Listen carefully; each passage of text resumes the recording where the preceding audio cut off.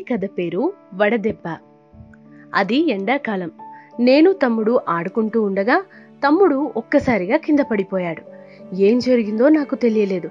గబగబా పరిగెత్తుకొని వెళ్ళి విషయాన్ని అమ్మా నాన్నకు చెప్పాను. నాన్న వచ్చి తమ్ముడిని చేతులపై ఎత్తుకుని డాక్టర్ వద్దకు పరిగెత్తుకెళ్ళాడు డాక్టర్ గారు ఏదో మాట్లాడారు. నాన్న దానికి సరే అన్నట్లు తలూపాడు. బయట మందుల దుకాణానికి మరియు డాక్టర్ వద్దకు పరిగెత్తుతూ ఉన్నాడు.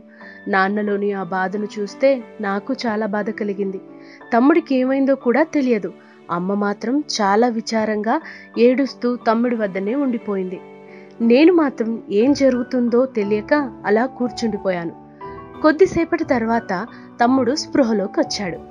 అమ్మయ్య అని అందరూ ఊపిరి పీల్చుకున్నారు. తర్వాత నాకు అర్థమైంది. ఎండలో ఆడడం వల్ల వడదెబ్బ తగిలి తమ్ముడికి అలా జరిగిందని.